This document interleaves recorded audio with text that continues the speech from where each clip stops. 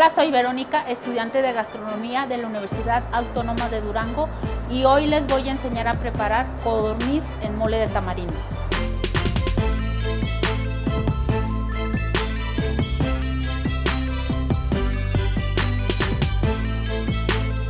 Para este proceso vamos a iniciar con un fondo de codorniz. Poner nuestro aceite de oliva, esperamos que se caliente un poco solamente. Vamos a agregar nuestros ajos. Esto va a hacer que nuestro aceite se aromatice y tome el sabor de nuestro ajo.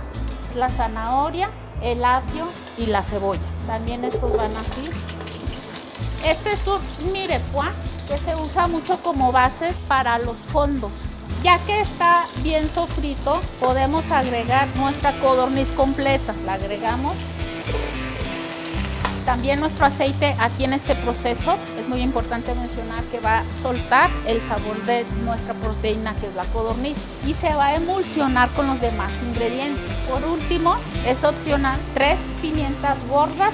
Previamente pusimos a hervir 4 litros de agua que los vamos a usar para nuestro fondo. Vamos a agregar nuestra agua aquí a nuestra preparación hasta que tape nuestra codorniz. Agregamos nuestra sal. Vamos a dejar en hervor durante 35 minutos.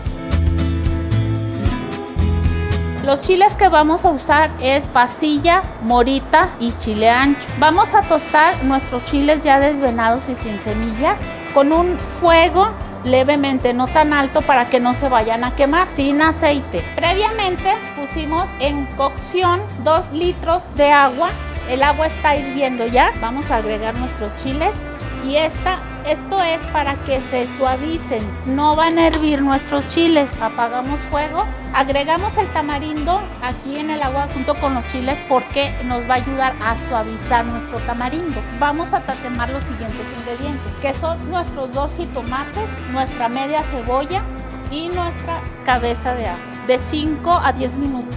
En un recipiente grande un bol vamos a vaciar. Enseguida vamos a agregar, que es una cucharada de pimienta gorda, nuestra cucharada de orégano, rajita de canela. Vamos a esperar que solamente suelten el aroma. Queremos que se quemen. Los vamos a vaciar aquí en nuestro bol. Enseguida vamos a agregar aceite vegetal a nuestra sartén, dos puños de pistaches ya pelados, dos puños de almendras enteras con cáscara. Vamos a hacer un dorado nada más, unos 3-4 minutos.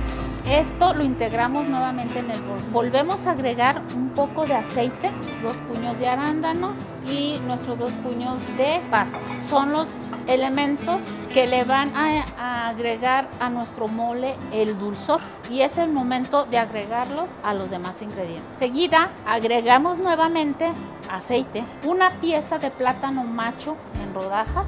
Enseguida vamos a agregar dos rodajas de piña en almíbar y dos piezas de ciruela.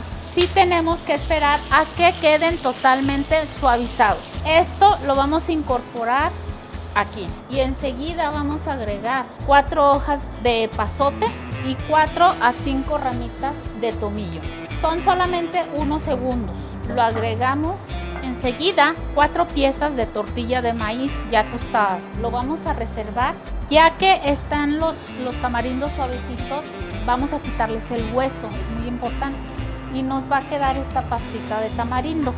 Esta la reservamos junto con nuestros chiles. A continuación moleremos nuestros ingredientes del bol con el fondo de codorniz, los chiles y la pasta de tamarindo.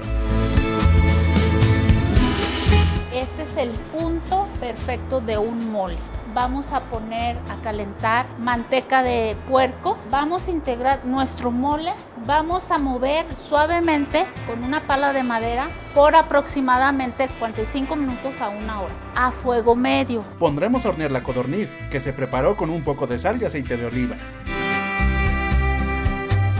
Y mientras eso sucede, salteamos unas papas con aceite, sal y pimienta. Estas servirán para decoración.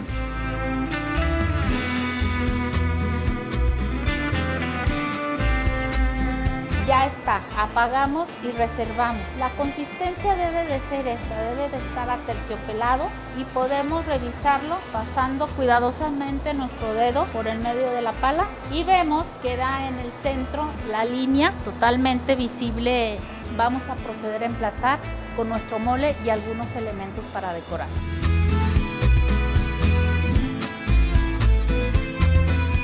Para más información de la carrera de gastronomía, manda un WhatsApp. Esto fue el recetario On de Comer. Nos vemos hasta la próxima.